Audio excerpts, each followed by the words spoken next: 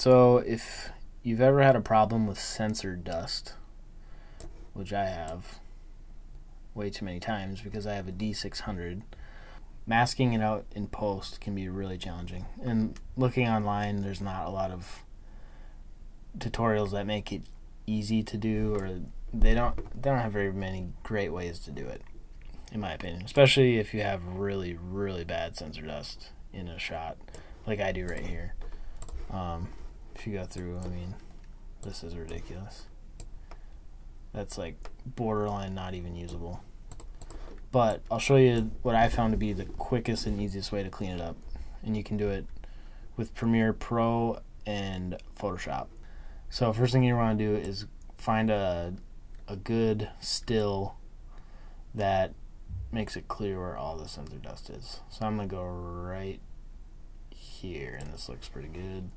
Then you're gonna want to export a frame. I'll call it um, screenshot, and then go into Photoshop. And grab your frame.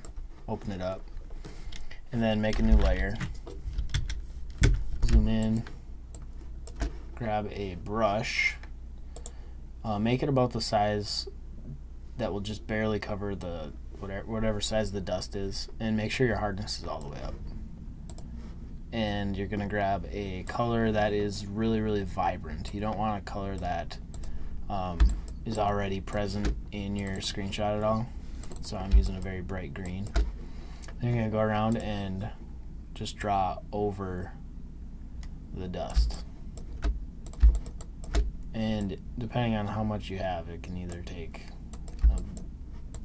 10 seconds or maybe a minute. For me, this is like pretty much worst case scenario. So that looks like just about it. Um, all right, next you're going to want to turn off your background layer so you just have the paint that you put on. And you're going to save it as a PNG because you want to preserve the um, transparency of this. So I'm to call this mask 1. And then go back into Premiere and you're going to import the mask you just made. Then you're going to bring it on top of your footage, stretch it out so it covers the whole duration of the clip and then make sure you have three video um, tracks here and then take your actual footage and duplicate it once so you have you have it twice now on this on this top on the top two layers you're gonna have your mask that you just made and then you're gonna have your footage unedited and then um, go to nest and then you'll have essentially a merged merge clip if you want to think about it in Photoshop terms, you're like merging the layers basically. Um, and now below that you have your original footage. Now in the original footage, you're going to add an effect called dust and scratches. And then zoom into 100% so you can see. And you're going to try and remove your sensor dust by adjusting the radius. And you want to do it as little as possible. You don't want to have um, you don't want to go overboard because you, you want to preserve as much detail as possible. So for me, it looks like about uh, probably 10. I'll go to 10. And then uh, maybe I can get away with 9. I'll try 9. So now that's done. Now what you want to do is basically um, use your mask that you made on this other layer and you want to mask out the spots you painted in so that way you reveal dust and scratches below that. So to do that, select your nested sequence here and add an effect called color key.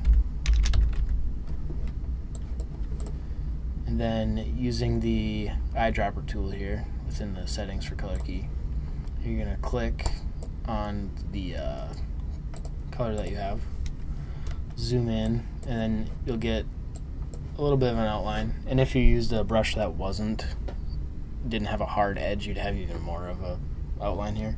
That's why we selected a brush with a hard outline. And um, you can adjust your edge thin to kind of get rid of that. So if you bring that up to, looks like I can get away with like three there. So at three, you know, you can't see any more of that green. And what's that doing? What that's doing is um, you're seeing through your clip right here, and you're seeing this clip below. And uh, yeah, that's basically it. So now in order to actually color grade your footage, you're going to want to nest these again. Um, so that way you can apply one effect to the entire clip. But as you can see, it does a really good job of removing the sensor dust.